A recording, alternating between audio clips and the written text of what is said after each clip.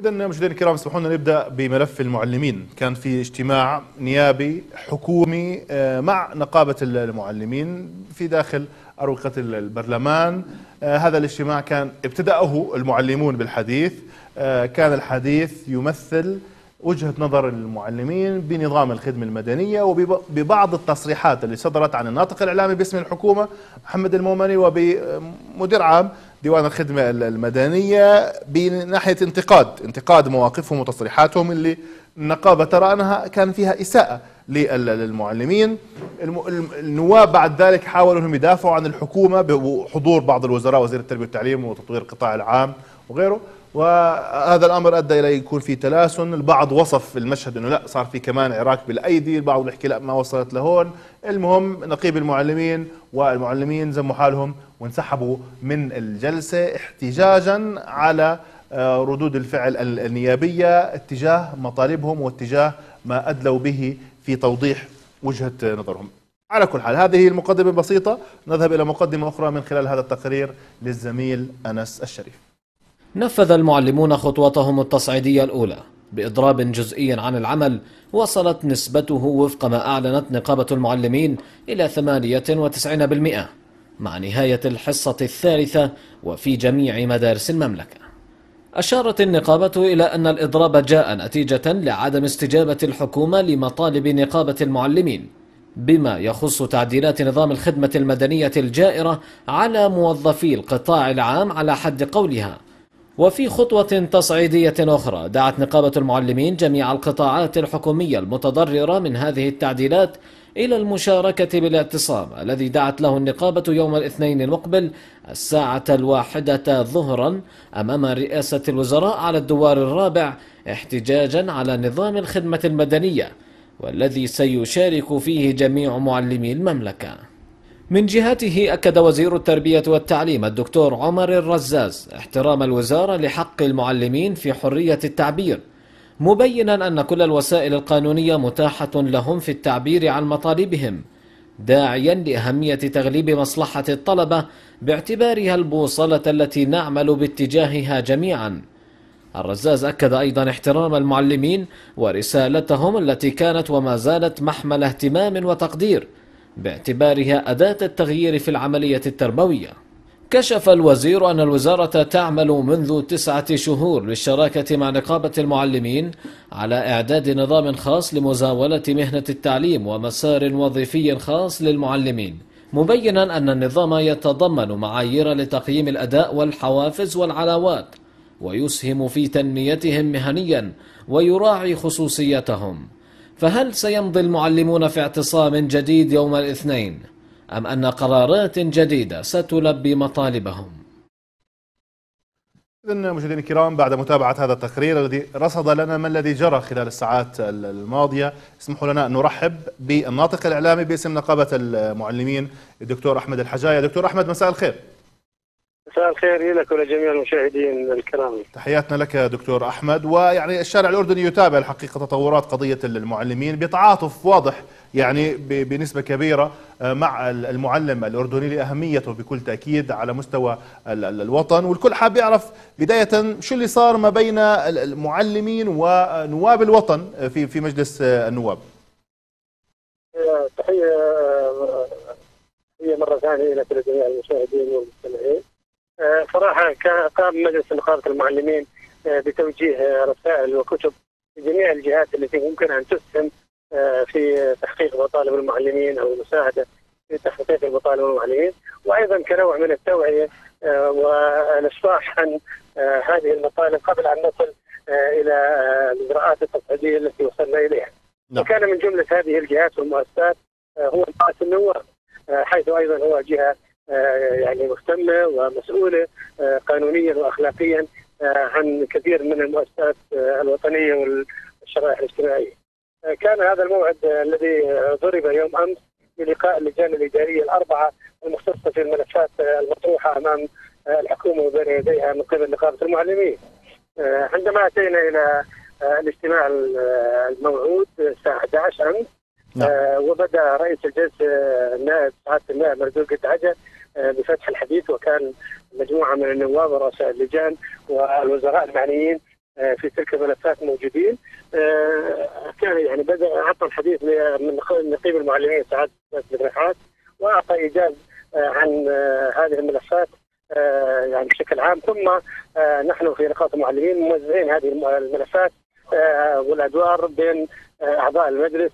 فكان هذا الملف اللي هو تعديلات ديوان الخدمة المدنية مع الزميل حسن العتوب نعم. فيعني أعطاه الحديث وبدأ بالحديث والشرح من الجهتين من ناحية آه، التصريحات الإعلامية والتصريحات لرئيس ديوان الخدمة المدنية والناطق الإعلامي حول التعديلات على ديوان الخدمة المدنية والتي كان فيها استفزاز كثير وإثارة بل وفيها تحدي آه، وتحدي وتجني آه، على الموظف الحكومي العام. فأبرزنا احتجاجنا ورفضنا من خلال زميلنا حسن عثوم لتلك التصريحات التي هي لا تعتبر لائقة لا بالحكومة ولا بالموظف الأردني الذي هو مواطن اردني له الحق الكامل آه، بأن يعبر عنه قانونيا آه، بالطريقة اللائقة. نعم. ولا يجوز أن يقول آه، يقال عنه إنه يطرد من الوظيفة. هذا إذا كان يجوز قبول طرده لذلك لا يجوز لرئيس دولة الخدمة المدنية أن يصرح عن وزير التربية والتعليم وأن يتجاوز ويتخطى إلى دور أكبر من وظيفته ومكانته. وكان اللاذع للحكومة الموجة بحكم مواقعهم وليس بحفظ صفاتهم الشخصية. نعم. آه وانتهى تقريبا آه الاوجز الذي قدمه عضو المجلس حول التعديلات ورفضنا لهذه التعديلات من الشقين، ثم بعد ذلك فوجئنا آه برده فعل من أحد أعضاء اللجان وهو النائب الدكتور عيسى الخشاشني بطريقة يعني اللغة يعني إحنا يعني كانت مفاجئة وغريبة آه، أن يتصدى بالدفاع عن الحكومة آه، تحت مسمى إنه آه، مجلس النواب لا يجوز حدا يحكي فيه بأي لغة قوية أو تقريعية علما بأنه لم يكن له هناك لا سب ولا شتم وإنما كان هناك نقد لاذع للحكومة بحجم الغضب الموجود في الميدان وعند المعلمين. نعم.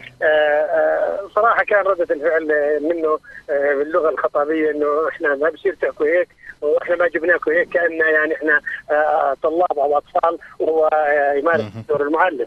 آه، فكذلك قال آه، أنتم آه لازم تحكوا باحترام وأنتم مش عارف إيش وتتادبوا آه اللغة هذه صراحة إحنا فوجئنا فيها وبالتالي آه غضبنا منها واعلنا انسحابنا آه من الجلسة وانتقلنا إلى الغرفة المجاورة اللي هي قاعه بس دكتور هنا في, في هذه النقطة دكتور إذا سمحت لي يعني هل كان في رضا من يعني رئيس الجلسة اللي هو النائب مرزوق دعجه والزملاء الآخرين النواب؟ آه، لم يتحدث أحد نهائيا. آه، لا رفضا ولا ايجابا آه، ولا سلبا. رئيس الجلسة حاول أن يمنع النائب من الحديث ولكنه اقتحم الحديث قبل حتى أن يأذن له رئيس الجلسه يعني يعني دكتور دكتور يعني هنا بنقدر نحكي إنه رد الفعل كان رد فعل شخصي لا يمثل مجلس النواب هيك بتعتبروه أنتم كنقابه؟ أكيد بالتأكيد بالتأكيد آه. بالتأكيد هو رد فعل شخصي آه. لا يعبر عن مجلس النواب ولا حتى يعبر عن النواب المحترمين الجالسين آه. الذين يعني صراحة آه، غمرونا بطيبهم وكرمهم مع مازن القاضي آه خالد رمضان آه وغيرهم النواب آه لحقوا فينا بالغرفة المجاورة وقالوا إحنا يحق لكم تعبروا عن رأيكم بقوة والحكومة يحق لها كمان ترد لما يجي آه، الدور عند الوزراء والناس المعنيين. صحيح. لكن إحنا آه، وحتى الوضع تقريبا وكدنا أن نرجع إلى آه، الجلسة لكن اشترطنا إنه هذا النائب إما أن يغادر وإما أن يعتذر لكن فوجئنا بالنائب الآخر الذي لم يكن في الجلسة واجى زي غايب الفيلة اللي هو محمود العدوان ودخل علينا وإحنا بنقول إحنا النائب إحنا ما بنرجع الجلسة وهو موجود. آه، يخرج من الجلسه ففاجأنا وانه يقول أنتم اللي بتخرجوا وأنتم اللي بتطلعوا برا من مجلس النواب ومن هذه القاعة وحمل الترابيزه آه، كانت بين يديه لكن أحد الزملاء أخذها من منه ورماها في الأرض آه، وبالتالي بدأت هناك يعني صراحة شجار والعراق والليبي وتدخل موظفين من مجلس النواب آه، ونعرفهم بالاسم والصورة حيث إحنا مصور النقابة كان موجود وصور جميع تقريبا اللقطات والأحداث التي آه، حصلت. وبالتالي إحنا آه الموظفين آه من مجلس النواب أيضا تهجموا على أعضاء المجلس وحاولوا أن يمدوا أيديهم في هذا الموقف الذي حصل. وعند ذلك إحنا قررنا مغادرة آه، مجلس النواب لأنه الأجواء أصبحت غير آه، حوارية وغير طيب هنا دكتور إيش إيش راح يكون ردة فعلكم كنقابة على مستوى إما قضائي أو قانوني إذا كنتوا ترفعوا دعاوى أو على المستوى على الأقل إيه. الشعبي؟ يعني خاصة إنه أنت إحنا أنا شفت تابعت يعني كلام الأستاذ حسن العتوم نشرتوه كلام كان يعني كما وصفته يعني كان قوي لاذع ولكن بيمثل المعلمين وهذا حق. للمعلمين. لكن الآن طيب. ما جرى من عراك بأيدي. هل راح تبثوه على صفحتكم؟ هل راح تصعدوا من ناحية قانونية؟ إحنا صراحة يعني حتى لا يفهم الوضع. إحنا نقدر الغضب في الميدان والتعاطف في هذا الموقف. إحنا لم يعني يصل أي إساءة إلا لفظية آه، من قبل آه، الناس الموجودين في النواب. آه، لم يخدش أي حد من المجلس ولم يضرب ولم يلمس. وانما كانت هناك الفاظ يعني غير لائقة. وبنفس الوقت إحنا ما سكتنا يعني دافعنا عن أنفسنا بما اوتينا من هذا الأمر. وحسب البقايات اللي كانت فيها موجودة وحتى لا يعني صراحة المجلس والنقيب وأعضاء المجلس حتى لا الأمور تفهم على غير مسارها الصحيح. آه، إحنا النائبين فقط نحملهم المسؤولية. النائب نعم. عيسى الخشاشنه والنائب محمود العدوان نحملهم مسؤولية افساد آه، تلك الجلسة.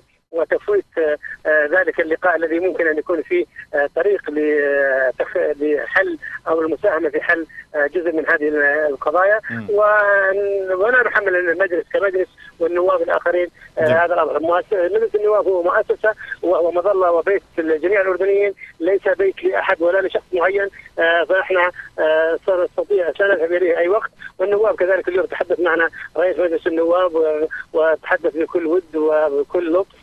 وأبدأ حتى استعدادهم للاعتذار إذا الأمر يصل إلى الاعتذار. لكننا نحن لا نريد جميل. آه، تضخيم أمور ولا نريد مكاتله الناطور. نحن نريد عنب في نقابة المعلمين. نحن نريد تحقيق مطالبنا. م. نحن نريد خدمة المعلمين دون ان نذهب إلى معارك جانبية آه، لا يعني آه، تؤدي إلى طائر من وراءها نعم. يعني كلام جميل دكتور والجميل أيضا انه نركز على الموضوع الرئيسي وهو مطالب المعلمين أحسن ما يتم حرفها لما حدث بالجلسة. ولكن هذا توضيح للرأي العام على الأقل ما, ما الذي حدث بالجلسة.